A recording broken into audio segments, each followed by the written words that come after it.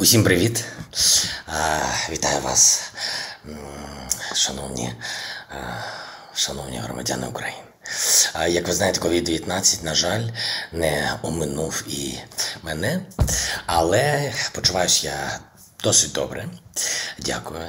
До речі, е, думаю, е, велика заслуга це саме ваша е, підтримка, ваші теплі слова, побажання швидкого одужання. Я дякую за це кожному з вас. Опонентів, які радіють е, моїй хворобі, е, близько до серця не приймаю. Е, чи не єдиний, знаєте, плюс вірусу е, не відчувати запахів. А тому не звертаю уваги на продукцію життєдіяльності деяких телеканалів та деяких експертів.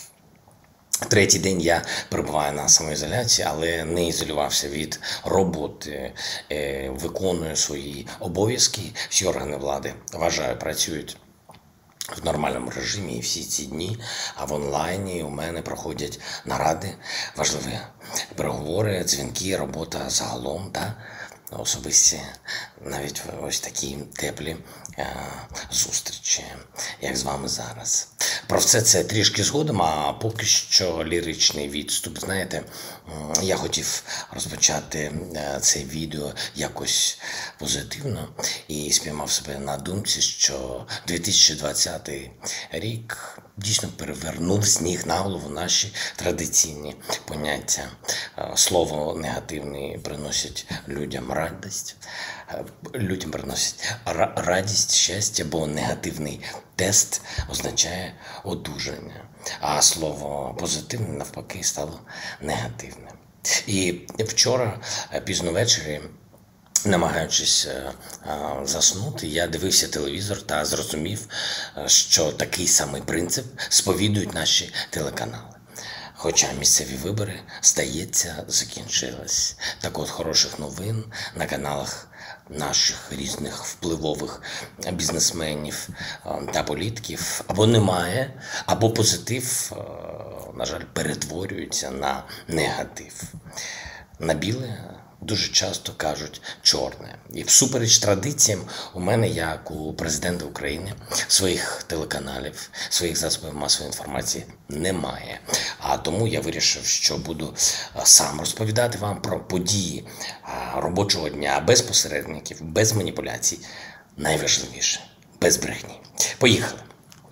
Почнемо з кіно, яке країна, на жаль, змушена дивитись вже кілька тижнів поспіль. Кіно про 11 людей, багатоходівки, афери, авантюри. Ні, це не 11 друзів Оушена. Це ремейк, створений за підтримки Конституційного суду України. 11 друзів Тупицького. Актори не гірше голівудських героїв і гірше голівудських зірок. Я вважаю, ну принаймні, судячи з майна пана Тупицького та його родини, він не поступається талантом Джорджу Клуні або Бреду Піту.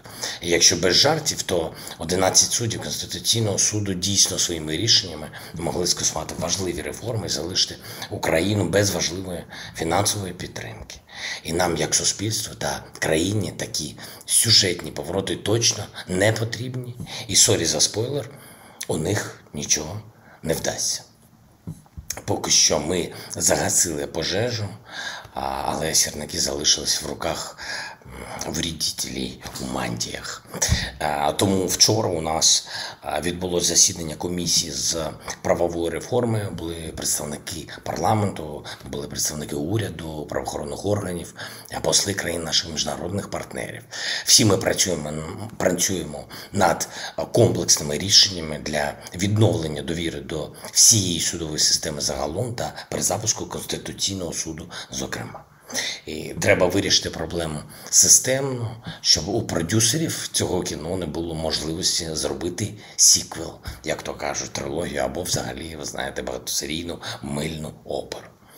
Перші результати роботи комісії з правової реформи будуть представлені вже за тиждень. Е, Весь процес буде максимально прозорим і з максимальним залученням всього суспільства. Ми справді потребуємо реальних перетворень у судовій системі нашої країни. Е, Сьогодні, згідно деяких досліджень, рівень довіри українців до суду лише трішки краще, ніж рівень їх довіри до каналу Russia Today. Це треба змінювати, а особливо коли ми кажемо про суддів Конституційного суду, які щомісяця отримують зарплату 14 тисяч доларів кожен. Це більше, ніж зарплата за рік більшості громадян України. І, до речі, президента України також. Йдемо далі. У вівторок у мене відбулася розмова з Ангелою Меркель. Важлива тема майбутня вакцина від коронавірусу. Зрозуміло, що її з- що з її появою буде і велика черга з країн, які хочуть отримати цю вакцину. Тому робимо все і сподіваємось на підтримку партнерів е, для того, щоб Україна була не в кінці такої черги, а у перших рядах.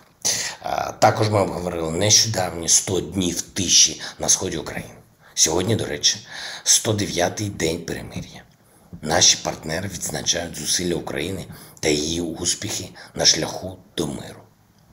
Мабуть, пані федеральний канцлер не підписано у Фейсбуці на деяких наших політиків та експертів, які постійно знаходять тут зраду і провал.